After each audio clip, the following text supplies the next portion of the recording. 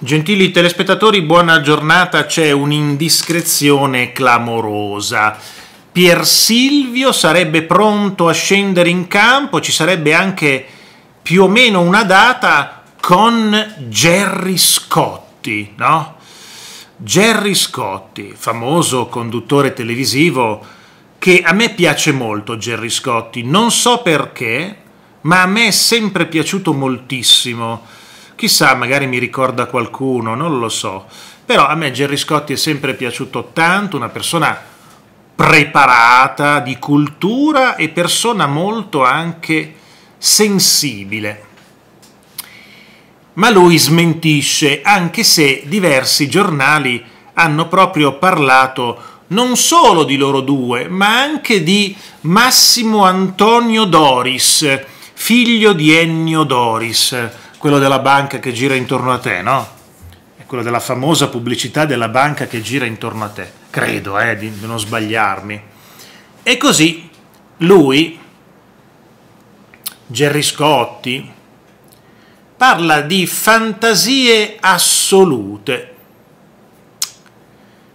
Beh, voci rilanciate prima da Dagospia, e Dagospia non è un, un sito che racconta frottole, eh? Dagospia la sa sempre lunga. Dagospia secondo cui la novità sarebbe prevista, attenzione, attenzione, ad aprile del 2025. Quindi lanciatissimo Pier Silvio Berlusconi potrebbe diventare il prossimo capo del governo. Pier Silvio Berlusconi un Silvio Berlusconi con il Pier davanti. Beh, il Pier è, dà l'agiatezza, no? il lusso, il benessere Pier. No? Va bene. Comunque, aprile 2025. Insomma, non è neanche tanto in là. Siamo a settembre 2024.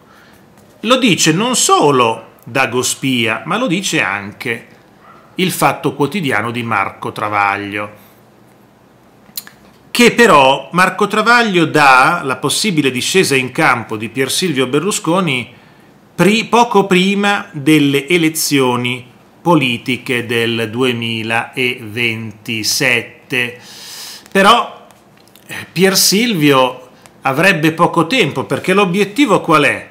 Convincere il 30% che vota della, per la Meloni a votare per lui.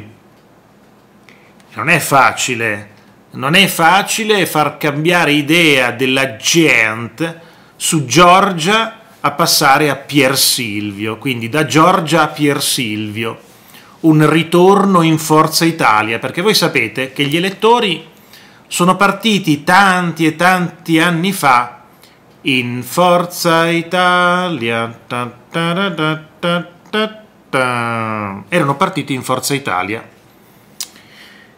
per poi spostarsi allegramente nella Lega. No? Il capitano a ridosso del papete aveva un bel 35 o forse di più per cento. Poi il capitano decaduto tutto questo elettorato passa con Giorgia Meloni, quindi Forza Italia, Lega, Fratelli d'Italia. Quindi dal capolinea al capolinea del centrodestra. La corsa è finita, o si scende o la metropolitana torna indietro, però probabilmente salta completamente la fermata della Lega che è stata chiusa e va direttamente a, eh, al ritorno a Forza Italia. La squadra che Pier Silvio potrebbe contare sarebbe composta da diversi nomi. Massimo Antonio Doris, figlio di Ennio, e Gerry Scotti. Diverse voci dell'entourage del popolare conduttore sentite dall'agenzia di stampa di N. Cronos dicono Gerry accetterebbe ruoli solo da papa in su hanno detto scherzosamente. Anche Massimo Doris avrebbe smentito, dice amo il mio lavoro di imprenditore e banchiere e proprio per questo escludo in un modo categorico un mio coinvolgimento in politica oggi e in futuro. strane che queste voci parlano proprio di questo del figlio di Ennio e Gerry Scotti, la data aprile 2025 e poi sappiamo che Pier Silvio Berlusconi avrebbe commissionato dei sondaggi su di lui. Su di lui nemmeno una nuvola. Comunque, persone vicine all'amministratore delegato di Mediaset hanno sottolineato, proprio sottolineato con l'evidenziatore, che nulla si è mosso dall'ultima smentita, ma è ovvio che questa cosa è oggi segreta, è oggi segreta e verrà eventualmente comunicata dallo stesso interessato con la discesa in campo e la sua squadra. E così nulla si è mosso, dicono da Mediaset, dall'ultima smentita fatta dallo stesso Pier Silvio. Il fascino della politica c'è, aveva detto il secondogenito di Silvio, anche se poi aveva precisato di essere intenzionato a proseguire il suo impegno da imprenditore, bollando come una balla assoluta l'aver commissionato sondaggi su di lui e sulla politica.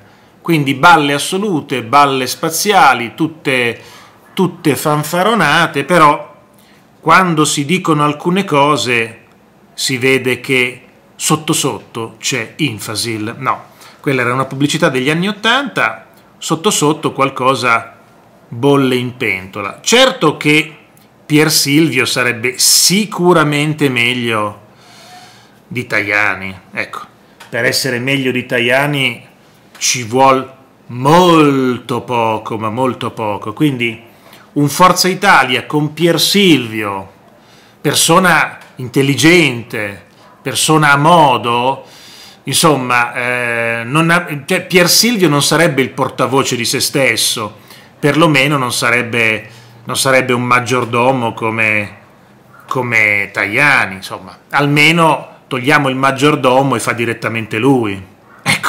Forse è me che è meglio, diceva il puffo brontolone, brontolone che è meglio. Bene, interessante però, perché dato che oggi come politico c'è solo Giorgia Meloni, la discesa in campo di Per Silvio potrebbe davvero portare un secondo vero politico. Io adesso non lo so com'è Pier Silvio, sinceramente non l'ho mai sentito fare ragionamenti non vi so dire se è una persona che fa dei ragionamenti eccezionali oppure come Ellie Schlein o come Toninelli. Io non lo so se Pier Silvio Berlusconi è un Toninelli con una valanga di soldi. Spero di no, perché a quel punto uno va a rimpiangere Tajani, l'eterno portavoce, lo da loro signore.